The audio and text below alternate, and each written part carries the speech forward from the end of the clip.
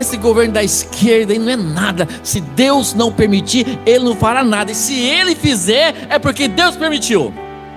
E nós temos que aceitar. Saber que o tempo está perto, que a palavra está se cumprindo. O mal tem que reinar. Então que reine agora. Uma comunhão com o Senhor é como um oásis no deserto.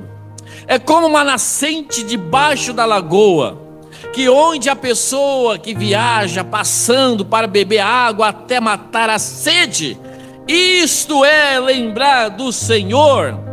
Eu tenho dito, não fique acomodado no seu sentido humano. Seja mais perto que o seu sentido humano.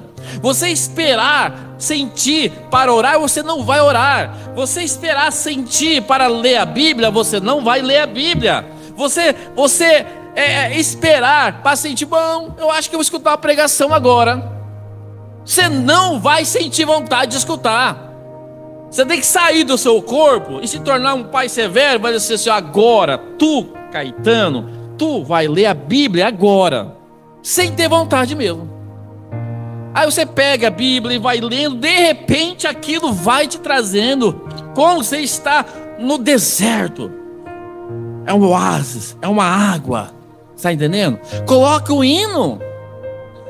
Coloca o hino. Você quer orar? Pega aquele hino que você sabe, que aquilo toca no seu coração. Eu gosto de escutar o oceano, somente instrumental. Eu gosto. Ah, eu coloco aqui, aquele instrumental, o Caetano, velho, cai por terra. Ah, mas é pouco tempo eu já estou ali no chão deitado, orando e chorando. Cria técnica, você tem que ser esperto com você. Aquilo que fala com você. Aí você vai orar.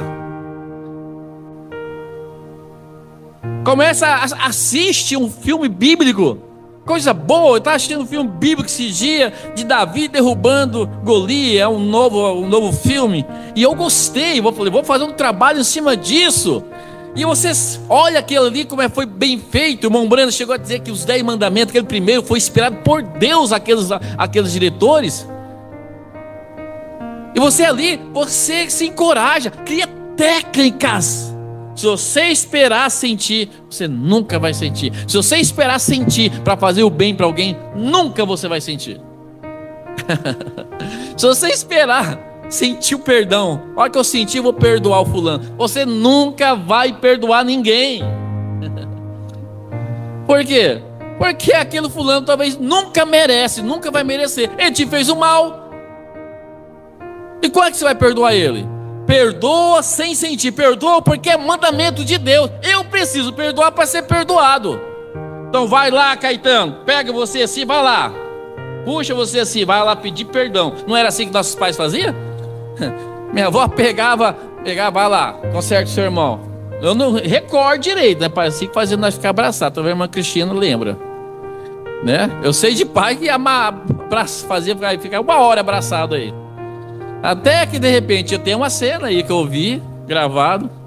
O, o rapazinho já estava perdoado já. E a menina estava lá. E ele já estava fazendo carinho nela, já estava beijando ela. Mas o perdão dela não tinha descido ainda. Mas uma hora desce. Então perdão é isso aqui, ó, coisa boa. Você vai lá e fala assim, ó, te perdoa. Mas você não perdoa de coração? Não, mas eu estou perdoando de mandamento. Vai descer desse coração. Depois que você faz algo de bom, de repente fala, que coisa boa. Talvez que falta nos crentes é isso. Apavorado pelo no, novo governo que chega, vão orar, irmão. Entra na presença de Deus. Tenha um tempo com Deus. Você vai sair da presença de Deus. Não, isso não é nada. Esse governo da esquerda aí não é nada. Se Deus não permitir, ele não fará nada. E se ele fizer, é porque Deus permitiu. E nós temos que aceitar. Saber que o tempo está perto, perto que a palavra está se cumprindo. O mal tem que reinar. Então que reine agora. Se nós somos a geração, geração que subirá no arrebatamento, louvado seja o nome do Senhor. Eu quero fazer parte dessa geração que subirá no arrebatamento. Então precisamos entrar é na sua presença para sairmos revigorado para nos encontrar com os problemas. Sim, um oásis no deserto, revigorando, nos tornando quando temos sede. Deveríamos ser assim em cada deveria ser assim com cada adorador. Sede dele, sede de Deus. É assim que cada verdadeiro adorador que eles anelam se reunir. Tem alguma coisa quanto ao companheirismo que é divino, é ordenado por Deus, é santo, sagrado, e o justo tem sede disso. É claro, nós ficamos ansiosos para chegar o domingo, para estar perto um do outro, para ver o irmão cantar, a irmã cantar. Quando um não canta, a gente fala, ah, não cantou. Queremos fazer, tá, ter esse momento junto. Isso aqui nos, nos, nos traz mais força durante a semana.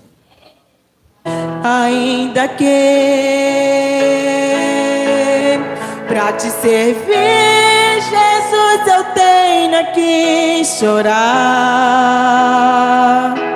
Eu te servirei, porque comigo estarás. Sofrer contigo é bem melhor do que errar.